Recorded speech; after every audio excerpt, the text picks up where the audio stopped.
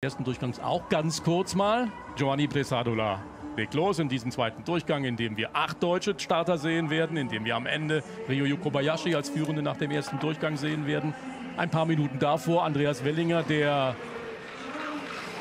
anderthalb Meter hinter dem Japaner hier liegt. Das ist Bresadola mit seinem typischen Flug auf Flugschanzen ausgerichteten Stil. Guter Sprung und endlich mal auch ein guter Wettbewerb insgesamt von ihm. Das hat er nicht so oft. 133,5 Meter. Ja, da ziehe ich jetzt ehrlicherweise den Hut, weil man sieht es zwar an der Kompensation nicht zu 100 Prozent, aber der Pfeil am Schanzentisch, der war bei ihm zwischenzeitlich auf 4 Meter Rückenwind. Ähm, und ja, er macht dann eine, eine schöne Kapsel hinterm, nach dem Schanzentisch und macht gute Spannung, aber das musst du dann auch erstmal ausgleichen. Sie können den Wind wieder indirekt mitlesen im Moment. 8,6 Punkte stand da unten rechts, da ist das immer eingeblendet. Daran kann man erkennen, wie viel Rückenwind in diesem Fall ungefähr gewesen ist. Wären es Minuspunkte, wäre es Aufwind gewesen. Daniel André Tande auch im zweiten Durchgang immerhin das mit einem schwächeren Sprung. Darf er noch mal ran. Ah, muss auch wieder gleich die Arme zur Hilfe nehmen beim Balanceakt nach dem Schanzentisch. Die, äh, die Mine bei Marius Lindwig sagt, die Norweger heute auch wieder ziemlich schwach. Nur der Lindwig ist unter den Top 10 nach dem ersten Durchgang. 131 Meter kleine Steigung für Tande. Ja, diese Phase hier, die ist ganz sensibel. Man sieht, dass die Skienden sich so berühren und dann gehen ihm die Spitzen weit, weit vorne raus und das ist nicht die Position, wo du gefühlt die Luft unter dir einfangen kannst und dir ein Polster entwickeln kannst. Und dann hat er schon wieder, auch er bei der Landung auf dieser harten Piste, seine Mühe stehen zu bleiben. Die Punktabzüge sind entsprechend. Resadola vor Tande. Die Schweizer Fahne in der Hand des Norwegers Rüne Welter, den haben sie sich als Trainer zugelegt in diesem, im letzten Jahr, um flugtechnisch auf Vordermann zu kommen. Remo Imhoff, klasse Ergebnis für den kleinen Schweizer, der noch neu in der Mannschaft ist, im letzten Jahr ist dazugestoßen. Auch der kommt jetzt gut zurecht. Dieses bisschen mehr Anlauf vielleicht, ne? Das könnte es sein. Ein paar Zehntel mehr kmh. 131 Meter auch für ihn. Ja, und jetzt müssen wir wirklich aufpassen dem Durchgang. Macht einen schönen Sprung. Könnte dann, müssen wir jetzt hier eher ein Trainer, Trainer nicht ganz zufrieden, vielleicht auch, weil er hier die, die Ski ein bisschen sehr aufkantet. Wir sehen viel vom Belag an der Seite, das ist eigentlich nicht so toll. Der sollte ein bisschen besser in den Wind stellen, aber man muss auch generell sagen, es wird einfach gerade echt turbulent. Also es ist zwar nicht wahnsinnig viel Wind, aber er wechselt sehr schnell. Ja, das sieht man an den acht Messstellen, die wir hier auf einem Monitor zur Verfügung haben. Da können wir das mal sehen, in welche Richtung die Pfeile sich bewegen. Acht Windmesser gibt es links und rechts der Flugbahn, jetzt auch bei Kamils. Doch ein Mittelwert ist errechnet. Sie können auch immer über dem Namen sehen, wo der in der Vierschanzentournee liegt. In seinem Fall Platz 21 mit der Punktzahl daneben. Der Abstand zum Führenden Andreas Wellinger also langsam habe ich den Eindruck, werden seine Flügel ein bisschen stabiler. Aber normalerweise ist er der Stilist bei der Landung, der auch jetzt hier mal kurz wackeln muss. 133 Meter. Satte Weiten jetzt schon. Ja, das auf alle Fälle. Und gut, der Kamil ist zwar nie der schnellste, aber wenn wir uns mal noch halbes kmh, vielleicht ein bisschen mehr dazu denken, dann wäre er von der Weite auch noch mal ein Stück woanders und dann wird es ihm auch noch mal ein bisschen von, leichter von der Hand gehen, weil technisch ist es nicht wahnsinnig weit weg bei ihm, weil es, es sieht nicht groß anders aus als in der, in der Vergangenheit. Ein bisschen hier in der Verbindung zum Ski hat er gerade am Anfang der Saison große Probleme gehabt. Auch das wird besser. Es wird schon gearbeitet bei den Polen, so ist es nicht. Nur noch 1,3 Windbonus bei ihm. Da haben sich die Bedingungen wieder ein bisschen geändert. So, Ryo Kobayashi hat sich rangerobbt an Andreas Wellinger in der Gesamtwertung. Nur noch ein halber Meter trennt die beiden ich so gar nicht vermutet, nachdem er gestern ja so locker aufgetreten war, der Japaner, einen Trainingsdurchgang ausgelassen hatte. Man kam sich fast vor, als hätte er ein bisschen gegambelt. Das ist Alexander Zdischow, der als einziger im polnischen Team, was die Anlaufgeschwindigkeit angeht, richtig aufgeholt hat.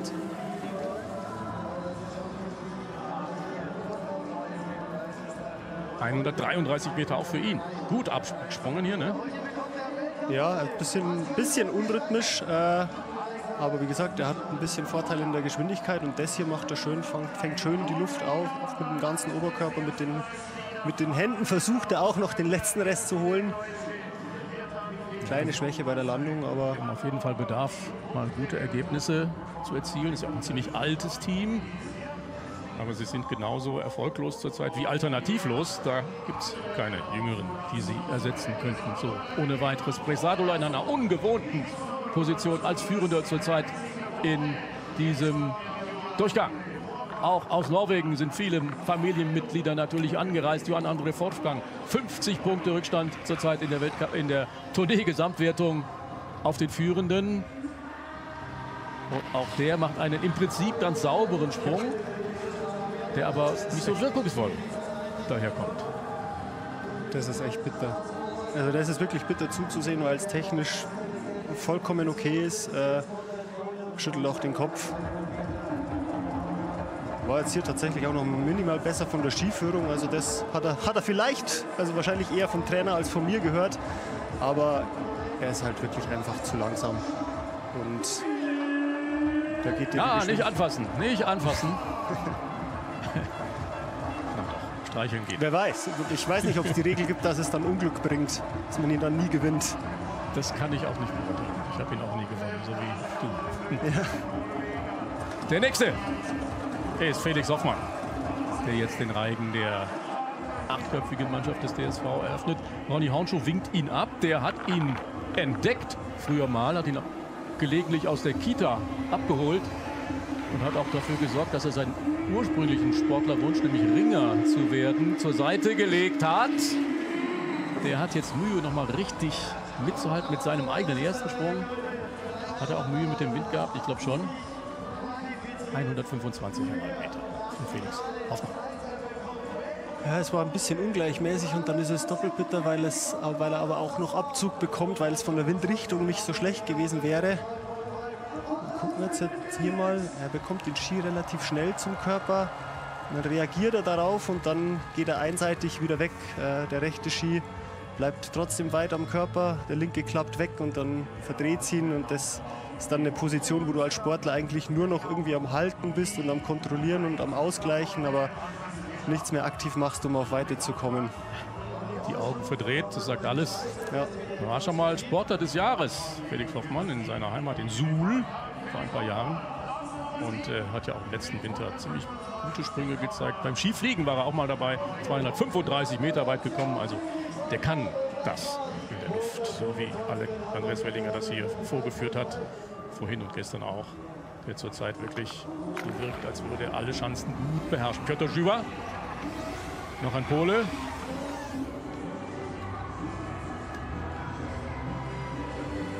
Ja, nicht schlecht. Bis auf die Landung auch in dem Fall. Also wir werden dieses Problem, oder wir nicht, die Springer werden dieses Problem nicht los.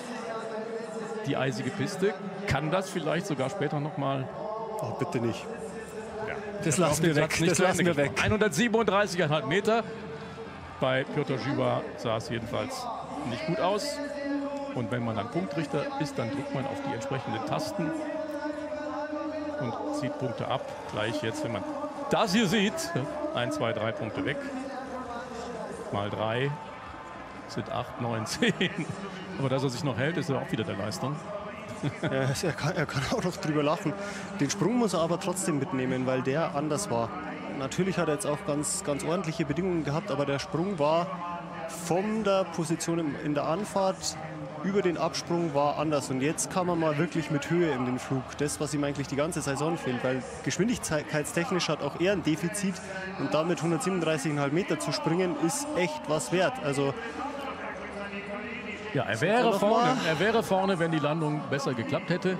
So ist er auf Platz 3. Bresadola, Italien, immer noch vorne. Da gibt es noch ein paar Tipps für Stefan Kraft. Aber sie sind noch nicht am Ende mit ihrem Italienisch. Die Italiener Alex Inzam, nämlich, kommt auch noch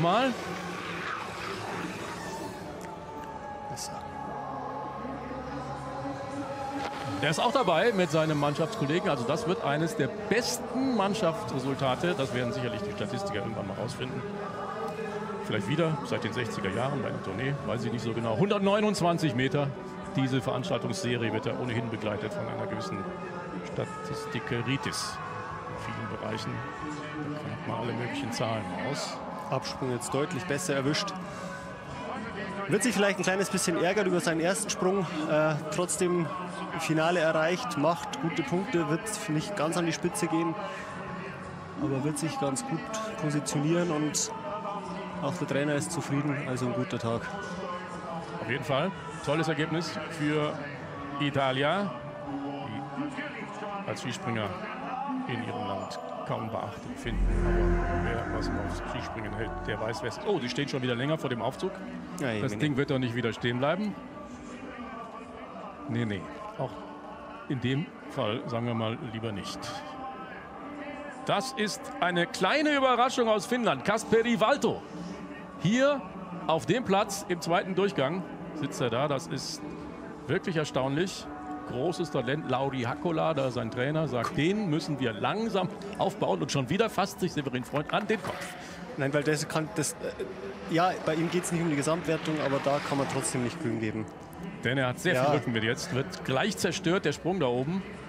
Ruhe, der macht, macht ja eh noch super viel, viel draus, aber das, wie gesagt, das kann ich nicht nachvollziehen, warum man bei drei Meter Rückenwind am Schanzentisch freigeben muss, wenn man weiß, dass es relativ schnell wechselt und wenn man weiß, dass es sich wieder beruhigen wird.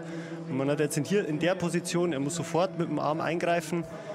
Ja, er ist ein Sportler, der sowieso den Ski schnell zum Körper bekommt, deswegen kann er es auch kompensieren, aber das ist trotzdem einfach unnötig. Ich glaube, 132 Meter sind immer noch gut. Ich glaube, das liegt daran, dass Kasperi Walto noch keinen so ja. großen Namen hat. So muss man es dann leider sehen. Wir haben ein Interview bei Andreas Götten, ist es, glaube ich. Ah, wir wollen noch das Ergebnis abwarten. Das gleiche bei Giovanni Briss. Oh, jetzt ist er schon wieder dran. Jetzt ist er aber schon mit zwei Händen dran. Sehr gut. Gute Leistung vom Italiener, der da führt. Felix Hoffmann ist auf Platz 10 und der ist jetzt zum Gespräch bereit. Bitte, Andreas. Ja, er ist gekommen, Felix Hoffmann äh, beim Neujahrsspringen dabei, jetzt 129,5, 125,5 Meter. Wie haben Sie Ihre Performance und auch die Atmosphäre mit 21.000 erlebt? Also Atmosphäre hier, Garmisch, auf jeden Fall ziemlich cool. Ähm, Performance heute nicht ganz so, wie ich es gestern geschafft habe, locker zu bleiben, weil heute ein bisschen mehr Anspannung und ja, gerade der zweite war schade, da wäre es, glaube ich, ganz gut gegangen. Andreas Wellinger liegt hier heute auf Platz 4. Packt er das? Gewinnt er wieder das Neujahrsspringen? Das sind 2,1 Punkte. Ich denke, die Chance hat er im Griff. Wenn alles so läuft, dann denke ich schon, dass er vorne dabei ist. Hoffen wir, dass der Experte recht hat. Danke. So, bevor es gleich hier in die zweite Zehnergruppe geht, noch mal ein Blick auf diese Schanze, die jetzt ein bisschen mehr im Wind zu stehen scheint. Aus unterschiedlichen Richtungen leider. Und man, sieht, man sieht ja das Windnetz, aber ja. man muss halt leider dazu sagen, so ein Windnetz, dass du den kompletten Vorbau äh, abgeschirmt bekommen würdest, äh, den kannst, das kannst du hier gar nicht hinstellen, weil der ganze Vorbau doch relativ ausgesetzt ist. ah, guck mal, der Aufzug geht doch. Na, oder wieder. Das wissen wir jetzt nicht. Oh ja. ja. Hat sich der Krafti gerade bekreuzigt? Ja, so ist das. ja, ja. So, aber jetzt in diesem turbulenteren Wind kommen jetzt leider ein paar deutsche Starter zum Einsatz. Martin Hamann wäre der Nächste nach Philipp Raimund, dann Konstantin Schmid, alle direkt hintereinander. Aber es gibt jetzt eine Pause, denn der Rückenwind nimmt jetzt so zu, dass auf unserem Monitor das alles rot markiert ist. Und dann wissen wir, wie im Straßenverkehr, stopp. Ja, und einfach nur die Bitte an die Jury von, von dieser Seite, Geduld haben, äh, nicht vorschnell handeln. Wir haben hier ein Flutlicht in Garmisch-Partenkirchen. Es gibt Zeit. Jeder Sportler sollte faire Bedingungen vorfinden, so gut sie fair sein können. Alles kann man nicht in der Hand haben, aber man, aber man kann äh, Sachen vermeiden. Wir hören ja gelegentlich den Funk zwischen den Verantwortlichen da. Die hören unseren Funk leider nicht. Deshalb wird dieser Appell wahrscheinlich im Äther irgendwo sich verlieren. Jedenfalls was die Ohren von Bodek Sedlak und Sandro Pertile angeht. Aber vielleicht sagt es Ihnen irgendjemand. Da sehen wir einen Teil der dreiköpfigen Jury. Das ist der Mann im Hintergrund. Das ist Jelko Groß aus Slowenien. Das ist Sandro Pertile, den kennen wir schon. Italiener, seit einigen Jahren im Amt, hatte das Pech gleich zur Corona-Zeit diesen Posten zu übernehmen, was ihm schlaflose Nächte beschert hat. Das ist Ryo Kobayashi, der scheinbar keine schlaflose Nacht zu Silvester verbracht hat. Und Andreas Wellinger schaut ihm mal über die Schulter. Ich nehme mal aufs Ergebnis.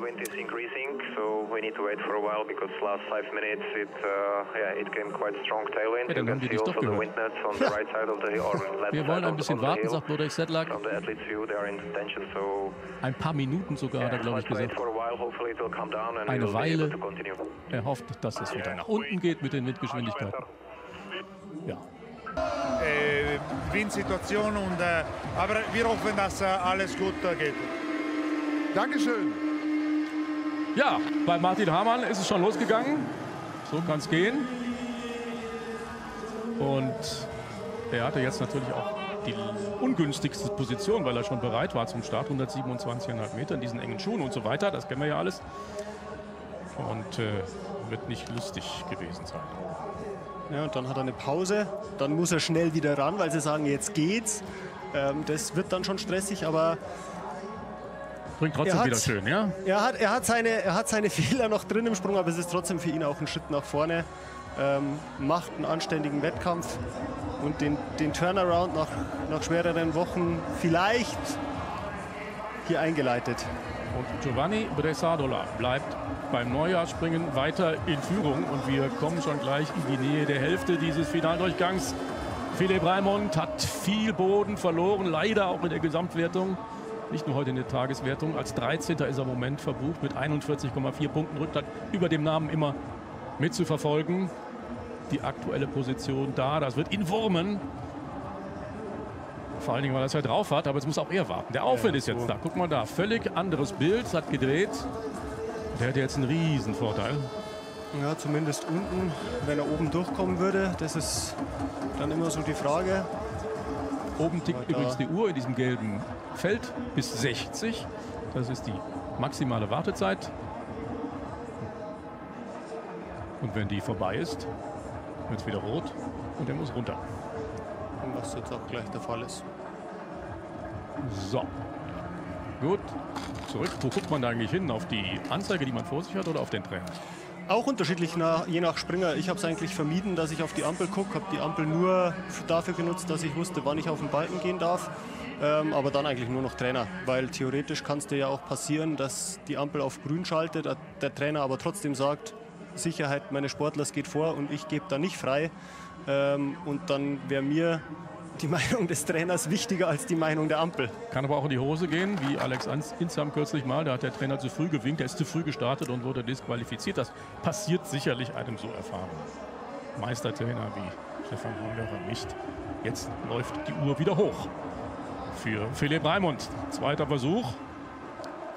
Volle Konzentration. Es ist das Neujahrsspringen 2024. Es ist nicht irgendein Feld-, Wald- und Wiesenwettbewerb. Es ist wichtig auch auf den hinteren Plätzen. 136 Meter für die Führung für Raimond. Go, Besserer go. Sprung diesmal, bessere Höhe. Und dann hat er es tatsächlich in der Nähe der zweiten roten Linie. 142 Meter hingesetzt. Großartig. Und ist besser gelandet. 139 Meter werden gemessen.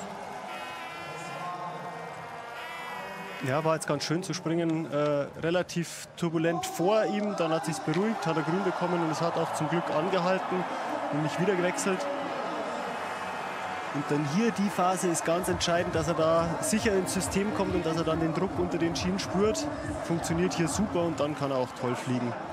Ja, vorhin die Punkteeinbuße beim Landefehler.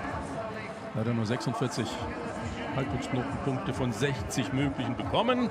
Diesmal werden es deutlich mehr. Da kann man spekulieren, was gewesen wäre, wenn er im ersten eine anständige Landung macht, dann wird es wahrscheinlich ein Top-Ergebnis. Kann man sogar ausrechnen. Kann man nicht nur spekulieren. Naja, er hätte dann natürlich ja auch zu einem anderen Zeitpunkt springen so müssen. Ist. Aber er führt jetzt mal erst und hat 139 Meter hingelegt. Das ist bisher die Bestweite im zweiten Durchgang. Und äh, so viele dieser Gegend waren es im ersten dann auch nicht. Also das war top. Löst den Italiener an der Spitze ab. Aber der nächste kommt gleich auf, folgt auf dem Fuße, nämlich Konstantin Schmid. Jetzt wird der Anlauf reduziert. Dann gibt es wieder 3,8 Punkte Bonus, weil jetzt die niedrige Geschwindigkeit einen Nachteil bedeuten müsste. Es sei denn, man kann den guten Wind jetzt nutzen, wie Konstantin Schmid. Bisschen schlecht auf der Luft geflogen. Bisschen hinterher, hinter Ja, ein bisschen hinterher. Das ist bei ihm, wenn die Wettkampfspannung dazukommt, gerne ein Problem, dass er das Lockere aus dem Training, wo er schneller verbinden kann, wo er schneller in die Flugposition kommt, ein bisschen verliert. Dann gerne hier ein bisschen näher zur Kante hinfährt, dann wird die Zeit knapp. Es geht auch ein bisschen was ins Leere und dann muss er erst noch ein bisschen aufholen und wenn dann der Druck unterm Ski kommt, dann wird es natürlich schwierig und dann hast du nicht mehr so wahnsinnig viele Optionen, außer relativ breit zu werden, um Vorlage zu generieren. Der Bundestrainer hat ihn vor ein, zwei Jahren mal als Zukunftsspringer bezeichnet, den Konstantin Schmid. In die Zukunft müsste er wieder zurückfinden. Ja, weil er wahnsinnig viel Potenzial hat. Hat ja in Peking die Olympiabronze mitgewonnen. Jetzt ist er Zweiter hinter Raimund, der mit seinem großartigen 139er in Führung liegt in diesem zweiten Durchgang des Neujahrssprints 2024, in dem wir warten aufs Ende, auf Kobayashi, auf Wellinger. Wie geht das aus? Jetzt erst noch Daniel Schofenik. Seine Hoffnungen auf vordere Platzierungen musste er zuletzt immer wieder mal begraben, auch heute wieder. Es läuft einfach nichts von dem zusammen, was vor der Saison so brillant funktioniert hat. Absprung, Flug und alles, was sonst noch dazu gehört. 131. Hier, das ist alles okay. Und dann in der Phase, man hat das Gefühl, er will unbedingt ganz weit runterspringen. Was ja nicht schlecht ist. Sehr, ja, das natürlich, aber er drückt sehr mit den Schultern auf den, auf den Ski und da einfach sich Zeit zu lassen. Vielleicht hat er das Gefühl, er muss in der Luft was machen, damit er irgendwie weiter vorwärts kommt. Aber eigentlich wäre genau die andere Variante lockerer, ein bisschen weniger, ein bisschen mehr in seinem Fall sich treiben lassen. Und guckt mal da, den Schofenig lässt der Schmied hinter sich. Das ist ein bemerkenswertes Ergebnis. Philipp Raimund führt weiterhin. Hallo, weiter geht's. In dieser Phase des zweiten Durchgangs im Mittelteil in etwa noch so 10, 15 Minuten. Dann müssten wir wissen, wer der Neujahrssieger werden könnte, wenn der Wind nicht für weitere Unterbrechungen sorgt. Das ist Ren Nikaido. Auch eine starke Platzierung für ihn am heutigen Tag. Hinter Ryoyu Kobayashi ist er der zweite nennenswerte Japaner in diesem Finale. Ja, ja gut. Kämpft sich, kämpft sich rein.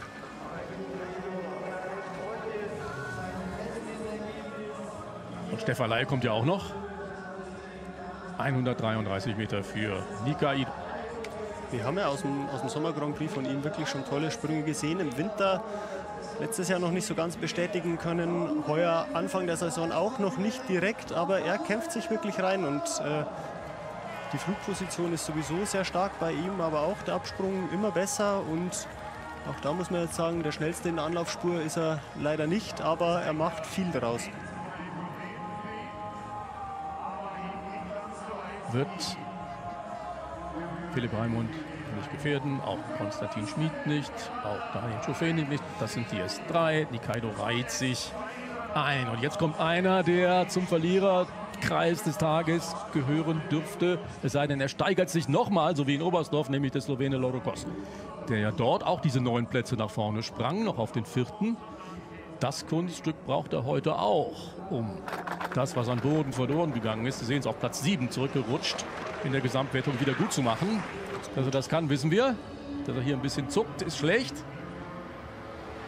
Ja. Und er kommt auch nur knapp an die Raimund-Linie dran. Nicht der Angriff nach ganz vorne. Nee, den können wir wahrscheinlich jetzt auch schon ein bisschen aussortieren, was vordere Plätze in der Gesamtwertung betrifft. Im Normalfall jedenfalls, 134. Ja, im Normalfall wird er Punkte verlieren, weil auch in der Phase wieder muss er korrigieren. Er muss dann einmal auf den Ski drücken, damit er in die richtige Position kommt. Und das ist genau das, was anders ist als in Oberstdorf, wo er so wunderschön unten reingesegelt ist. Guck mal, auch nicht an Raimund vorbeigekommen. Knapp, aber egal.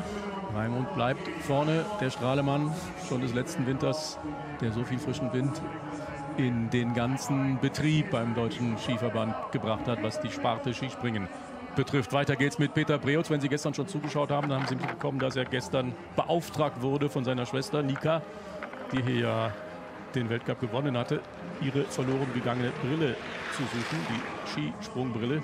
Er hat sie nicht gefunden. Er musste eine neue besorgen. Die muss dann jetzt gleich in Oberstdorf mit einem Ersatzmaterial ran. Aber das war ein guter Sprung von ihm. Wie er selber sagt, einmal so, einmal so, noch nicht stabil. Ja, ja. 133,5 Meter. Geht auch bei leichten Brückenwind jetzt wieder recht weit. Ja, sogar ein bisschen, bisschen mehr von der Luke, wirklich super Sprung. Wenn er stabil in die Flugposition kommt, dann kann er uns sein Können zeigen. Kommt auch gut zur Landung. Keine Probleme da. Und das ist die Führung. Ach guck mal, und Gerd Sigmund, der da unten steht, sagt mir gerade, die Eltern Preutz haben die Brille doch mitgenommen auf Wolfsdorf. Also sie ist versorgt, die kleine Schwester, die so stark gesprungen ist wie in der Preutz-Familie durchgehend.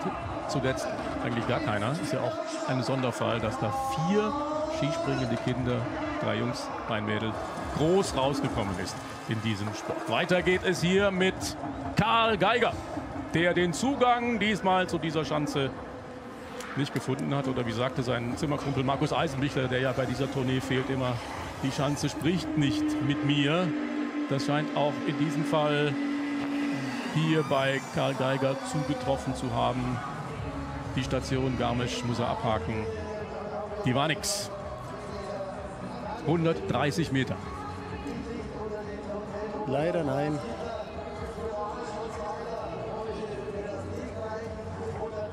Ja, es ist die Phase mit der, mit der Kompression, wo er es nicht ganz schafft. Der erste Sprung war wirklich ein Schritt vorwärts. Jetzt leider nicht nochmal was den, den nächsten Schritt machen können, um hier richtig abheben zu können mit seinen langen Beinen und sich sozusagen in den zweiten Stock empor zu heben und dann ins Segeln zu kommen. Und dann sieht man auch, hier muss er in der Luft relativ viel ausgleichen. Das ist das Zeichen dafür, dass es eben nicht selbstverständlich und nicht äh, von alleine geht. Und guck mal da, der Swellinger, interessierter Beobachter des Geschehens von da oben. Ja, natürlich. Du schaust immer, was deine Teamkollegen machen. Schaust du auch, was deine Gegner machen? Wenn du die Zeit dafür noch hättest, ja, aber meistens die springen ja dann sehr in deinem Umkreis und da bist du eigentlich dann schon am direkt herrichten und dafür keine Augen mehr. Michael Heibeck als Zwölfter nach dem ersten Durchgang sicherlich auch ein bisschen enttäuscht heute. Hatte sich mehr versprochen, nachdem er gestern auf dieser Schanze endlich mal gut zurechtgekommen war. So wie jetzt hier. Ja. Und da auch wieder dieser Landefehler. Also Leute im hohen Landebereich, da in der roten, zweiten roten Liniengegend, da musst du höllisch aufpassen. Das kriegen die doch bestimmt auch jetzt da oben mitgeteilt. Oder sie wissen es natürlich schon aus dem ersten Durchgang. 141 Meter für Heibeck. Zweitbeste Weite des Tages. Vielleicht bekommen wir eine gute Perspektive zur, Lang zur Landung, weil es ist Aufpassen und aber gleichzeitig auch, auch Glück. Super Sprung, äh, schön direkt in die Richtung. Er kann das, weil er sich hier eh Zeit lässt, eigentlich klassischerweise immer und fliegt wunderschön hier rein. Und in dem Bereich, da sind halt jetzt wirklich auch schon Rillen im Auslauf. Und wenn du da eine erwischt, dann wird der, der Ski, der bei den Skispringern, man sieht es auch, wie er schlägt, da hast du keine Stahlkanten oder irgendwas, mit denen du steuern kannst, sondern das ist einfach viel Belag und ein paar Rillen, die dir in der Führung ein kleines bisschen helfen. Und da muss auch Andreas Wiedhölzel, Cheftrainer bei den Österreichern, dann durchatmen. Aber trotz der Abzüge für diese Landung reicht die Weite dann, um den Peter Preutz vorne abzulösen. Für Michael Heiberg. Und dann wird Pius Paschke jetzt gleich die zweite Zehnergruppe. Das ist immer in drei Zehnergruppen aufgeteilt. Der zweite Durchgang abschließen. Der Mann, der. Haben wir da kurz Christian Neureuter gesehen? Ich glaube ja. Ja, Pius Paschke jetzt also mit dem Versuch, sein Ziel, seine beste Vierschanzentournee überhaupt zu springen, näher zu kommen.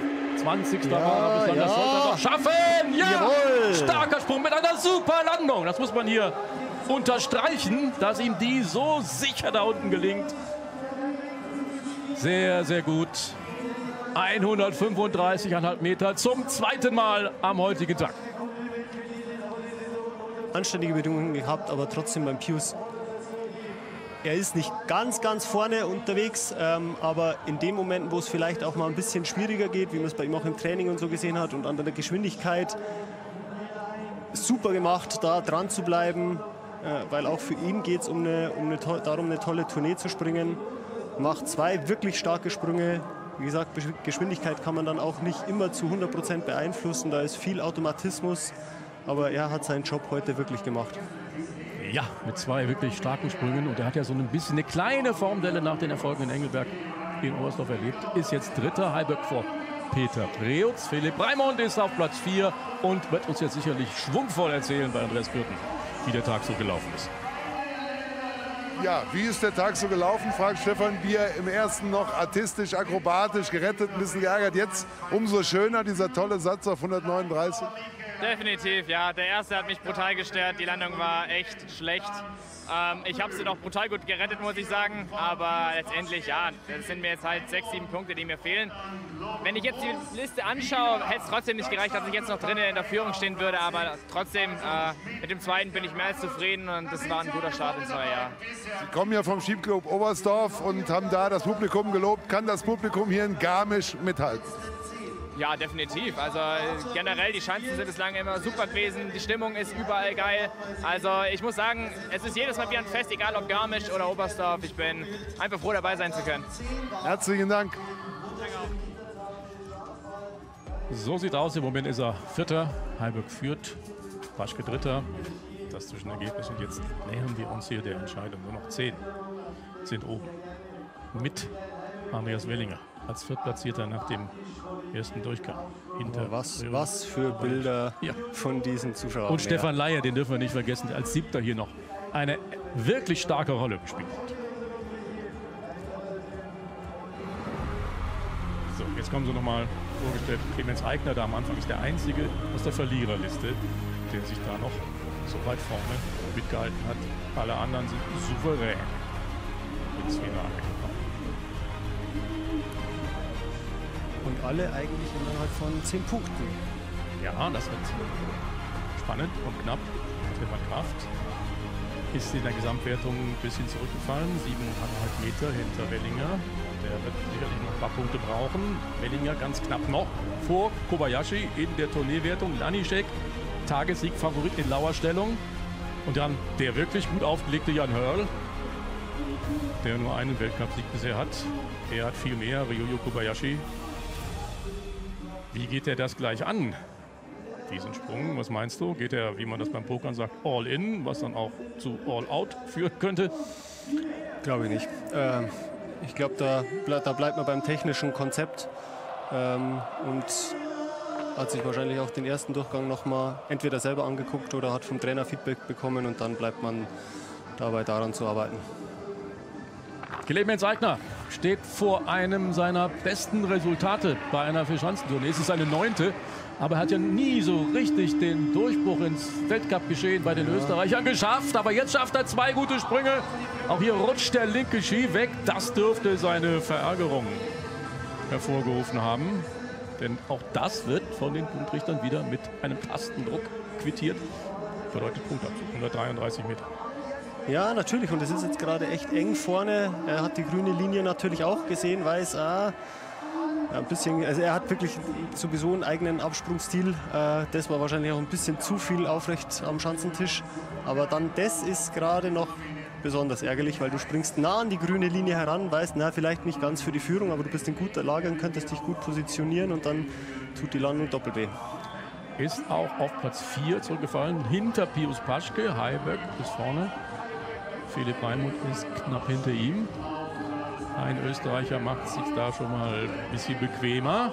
Aber ob er da noch lange stehen darf, müssen wir mal gucken. Denn jetzt kommt erstmal Marius Lidwig. Und der hat hier in Garmisch-Partenkirchen schon so einiges erlebt. Seinen ersten Weltcup-Sieg habe ich schon gesagt. Im letzten Jahr ist er disqualifiziert worden, weil der Anzug nicht passte. Schwieriger Wind jetzt. Segelt aber Richtung Grün. Knapp zwischen ihm und Heiböck. Wenigstens einer aus dem sonst so starken, in der Vergangenheit so starken norwegischen Team zeigt sich hier wieder mit 133 Metern. Ja, vom Einsatz und von der Überzeugung war jetzt das der All-In-Sprung. Aus der Position auch ein bisschen einfacher. Hier wahnsinnig versucht, viel Energie reinzulegen. Flugposition ist eh gut bei ihm. Geschwindigkeit passt bei ihm auch aus dem norwegischen Team als ja, einziger eigentlich. Er ist Erster geht in Führung. 1,9 Punkte vor Halbböck. Granerüth wieder ausgeschieden. Auch der Rest im Mittelfeld und schwach. Norwegen taumelt zurzeit durch die Saison. Aber er macht natürlich jetzt zum Beispiel gegenüber dem Lovro macht er deutlich Punkte gut. Das ist richtig. Aber ob ihn das entscheidend ja. nochmal ins Podest geschehen bringt, ist dann bei Halbzeit doch ein bisschen schwieriger bei den Punktabständen. nach vier Sprüngen, die der Norweger jetzt schon in der Wertung stehen. Timi Seitz ist dran. Hat er eine Chance jetzt bei Rückenwind? Vorhin war es ja gut für ihn. Das waren seine Bedingungen. Jetzt muss man ihm prognostizieren, dass es sehr viel schwieriger wird. Er sollte jetzt auf jeden Fall nicht auf den ersten Sprung denken, jetzt muss ich aggressiver springen. Aber wie du vorhin ja sagtest, das weiß ja, er ja nicht. Eben deswegen sollte er einfach dasselbe machen.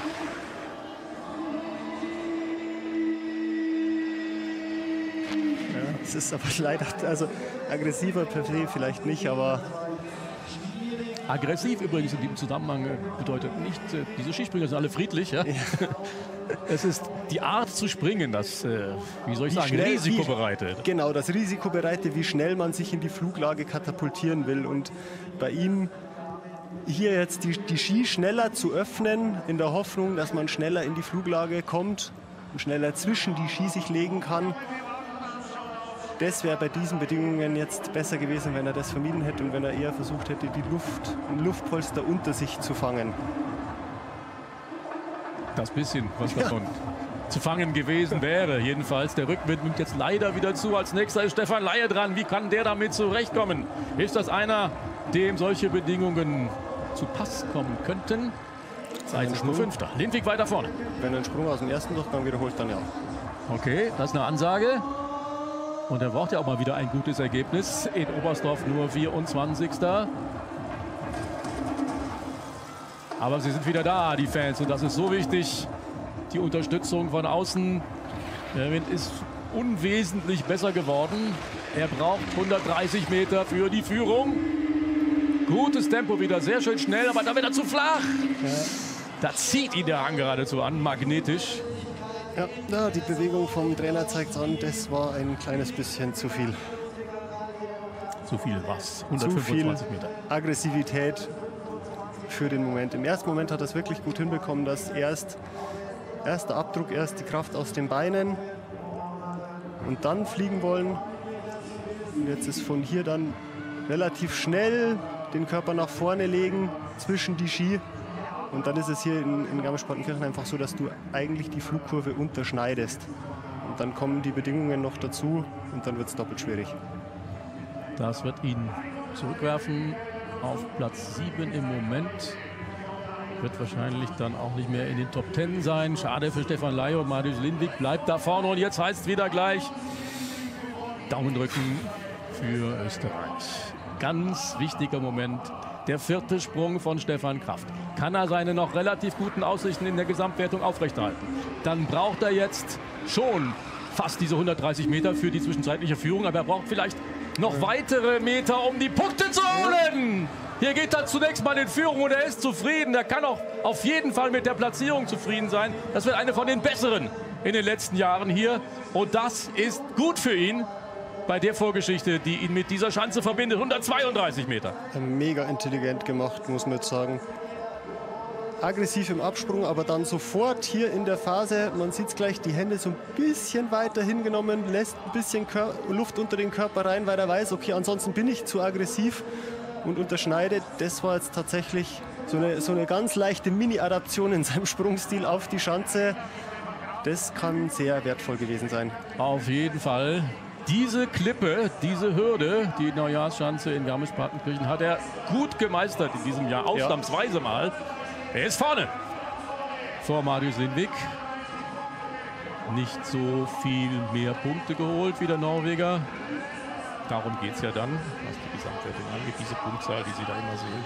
Und es ging, es ging für ihn nicht darum, hier zu gewinnen, nee. aber möglichst wenig zu verlieren. So sieht's aus. Und das hängt natürlich gleich dann auch ab von Andreas Wellinger und Ryoyo Kobayashi, die in der Gesamtwertung vor ihm liegen. Manuel Fettner ist der Nächste. Die Österreicher ziemlich stark mannschaftlich in diesem Wettbewerb. Und Fettner, der Beste von ihnen nach Jan Hörl, den wir auch noch gleich sehen, hat jetzt insgesamt schon acht gute Sprünge nacheinander hingelegt. Wenn er das hier komplettiert mit dem neunten, und das sieht so aus, dann ist er vorne dabei. Ist ja unglaublich. 38 Jahre auch schon als seine 25. Vierschanzentournee. Und dann zaubert er hier einen wunderbaren Wettkampf runter. 138 Meter.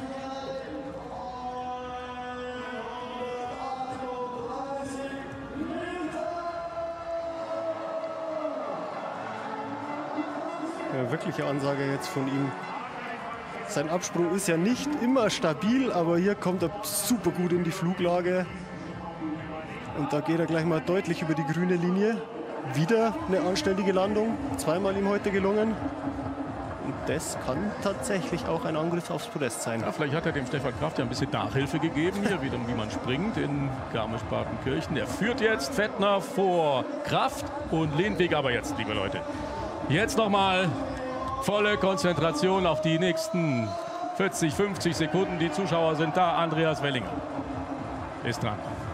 Und der sollte es jetzt nochmal runterbringen. Form vollendet, so wie er das kann, inklusive Landung dann ist in der Gesamtwertung weiter alles möglich. Und vielleicht kommt vor ihm, von ihm ja jetzt der Angriff auf den Tagessieg auch noch. Aber er muss sehr weit runterspringen an die 138 Meter ran. Tempo wieder gut, Höhe wieder da. Schöne, stabile Position. Ja! ja! Super Sprung wieder von Andreas Wellinger. Großartig. Auch Station Nummer 2 brillant gelöst. 137,5 Meter, ungefähr da, wo er hin musste, um jetzt in Führung zu gehen. Oh ja, und das sind auf dem Kraft jetzt schon mal einige Punkte.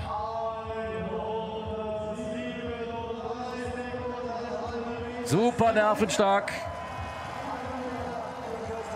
Ganz offensichtlich. Und hier wieder, kommt er. Wieder eine super tolle Landung auch. Vielleicht ein kleines bisschen knapp gewesen, aber gut, die Anspannung ist hoch. Äh, Landung super, tolle Noten. Das wird gute Punkte geben. Ja, die Haltungsnoten sind schon mal sehr gut. Da ist er da, wo er eben auch war. In der Gegend 58 Punkte von 60 möglichen.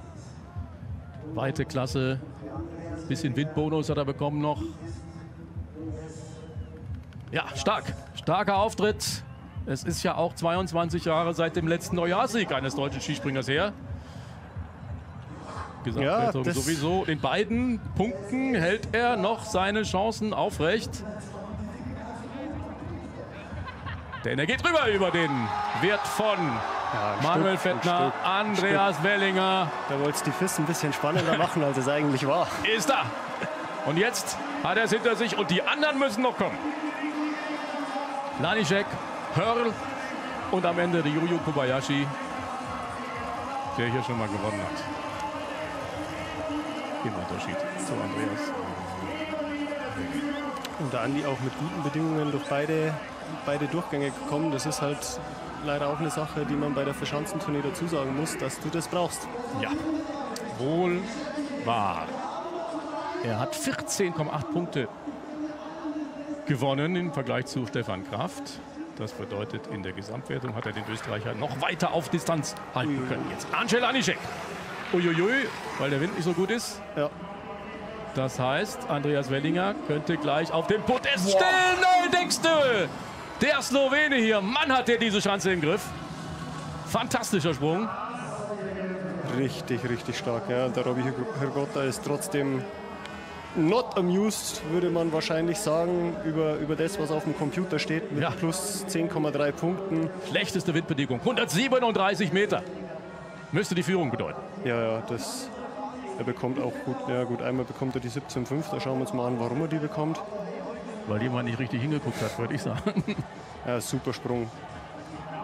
Richtig schön langer, geduldiger Absprung.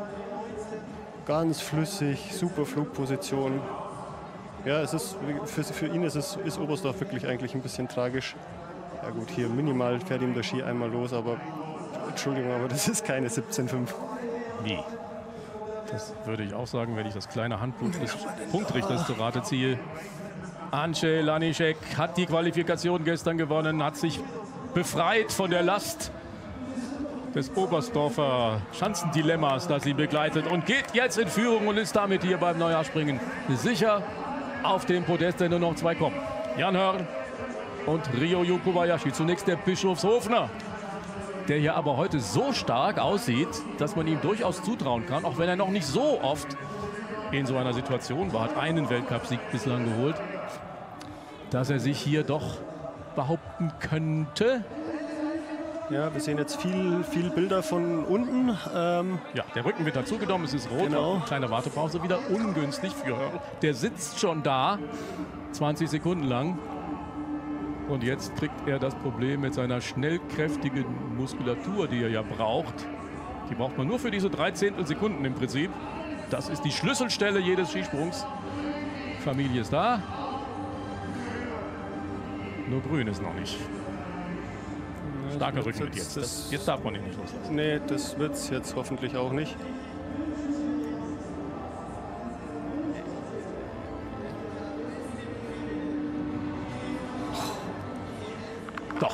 Das gibt's noch nicht.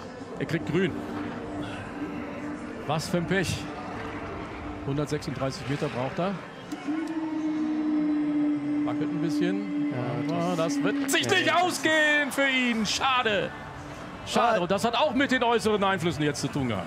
Aber der Sprung, das wirst du besser gesehen haben, hatte auch ein paar Ja, Ecken. der Sprung, der Sprung war nicht perfekt, aber, aber trotzdem, man, Und damit ist Andreas Wellinger ja, auf dem Podest. Es ist, es ist das Podest für einen Andi, aber ich war selber Sportler und bei, in so einer Situation muss man dann nicht grün geben, auch wenn es vielleicht gerade so im Korridor ist, sondern da kann man auch noch kurz warten, weil schon lange gesessen ist auch nicht das Einfachste. Die, die Schuhe sind eingeschnürt äh, und dann ja, er ist, er ist nicht ganz sauber vom Abdruck, kommt nicht sofort das System, aber hat halt in dieser ersten Phase auch gar keine Rückmeldung.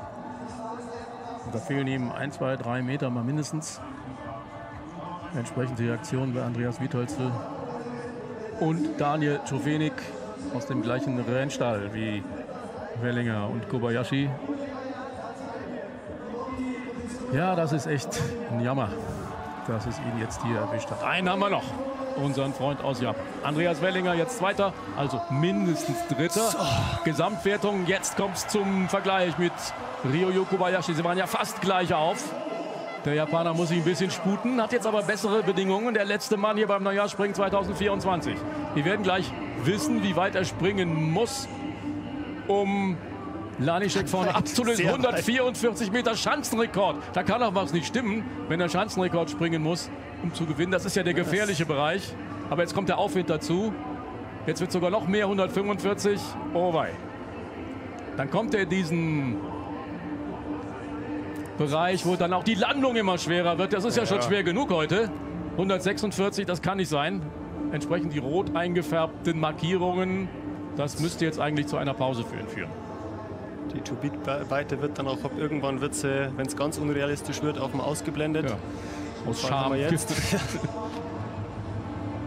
Jetzt haben wir in allen Bereichen konstanten Aufwind Nee, nee. zwischen 0,7 Nee, nee, Leute, das ist jetzt, es geht nicht. und 1,7 Könnt ihr nicht Meter. machen, jawohl, 60 Sekunden Ja. voll. Und rot ist ja sowieso. Aber er hat noch Zeit zu lächeln. er nimmt es mit Humor. Ja, scheinbar jedenfalls. Es ist ja immer schwierig, äh, da so genau Bescheid zu wissen, wie es ihm vorgeht. Er hat auf jeden Fall einen unschätzbaren Vorteil, der Ryoyo Kobayashi.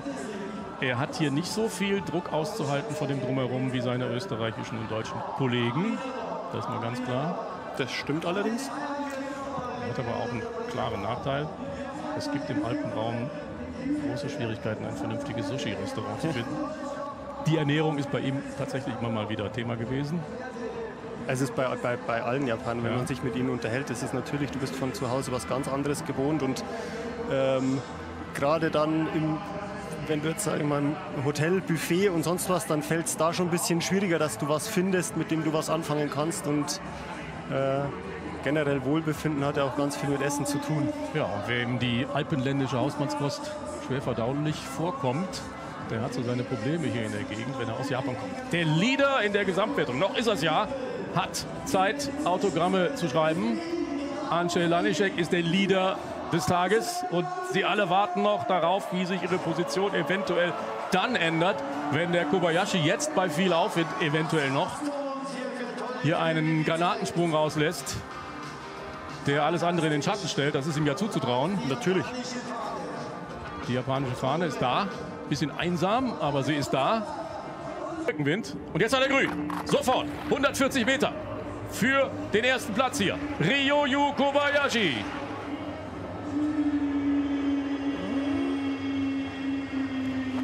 Das wird knapp, aber es sollte nicht reichen für Lanischek. Und er ist ungefähr in der Gegend von Andreas Wellinger dann vielleicht zu finden. Und dann könnte der Slowenier den Neujahrssieg sicher haben.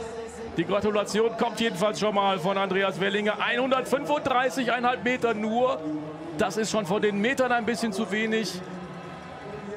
Ryoyo Kobayashi hat vielleicht diese lange Wartezeit doch nicht so richtig verkraften können.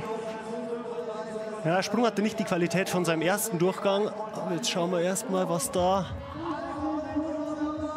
Wie gesagt, auch eine super schwierige Situation natürlich jetzt. Man sieht, dass er hier ein bisschen aufrechter anfängt und dann hier geht es dann ein bisschen zwischen die Ski und dann kommt der Ski erst zum Körper und dann, wenn sie umschwenkt in die Flugposition, da geht der Ski eher wieder ein bisschen auf Abstand, natürlich dann auch zusammen mit den Bedingungen. Hier hat man es kurz gesehen. Und dann geht es nicht ganz so flüssig durch. Er kriegt 7,5 Witt-Bonuspunkte, mehr als Wellinger, deutlich mehr als Wellinger, auch deutlich mehr als Lanischek, der hatte 0. Sie waren eng beieinander. Ah, 10,3. Sorry, ja, 10,3. Ja, knapp ist es sowieso, wir genau. gesehen. Also gut, der blaue Balken. Bitteschön. Ance Lanischek ist der Neujahrssieger 2024. Kobayashi ist Zweiter. Und zwar wie viel vor Wellinger? Ich glaube, er hat die 19. Ja, rausgeholt, ja, in der Gesamtwertung. Andi Wellinger bleibt vorne. Wellinger bleibt vorne.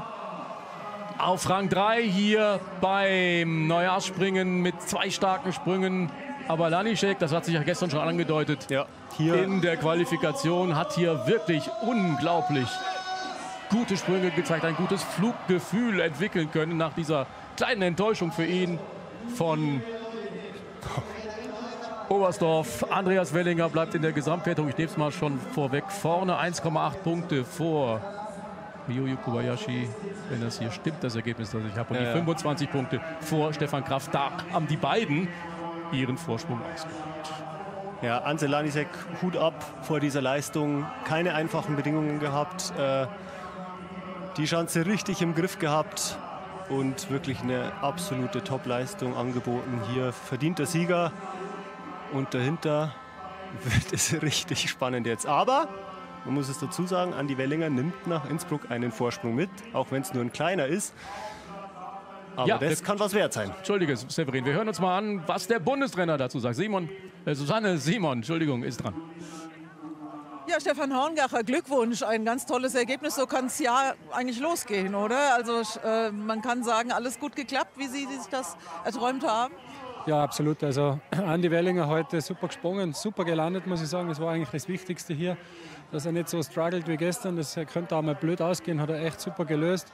Die Sprünge waren auf sehr hohem Niveau. Bin ich sehr zufrieden mit dem dritten Platz. Wir haben wieder einen Podestplatz, müssen wir, müssen wir sehr so nehmen. Natürlich könnte man auch gewinnen. Aber heute war der Herr Lanischek besser, auf den vergründen wir es. Er ist auch in der Quali schon sehr gut gesprungen. Auch Kobayashi wieder mit vorne dabei. Das ist ganz ein enges Rennen und ja, bleibt spannend. Wie wird das jetzt in Innsbruck? Was glauben Sie? Wie sehen da die Chancen aus, den Vorsprung zu halten? Ja, der, der Vorsprung ist so minimal.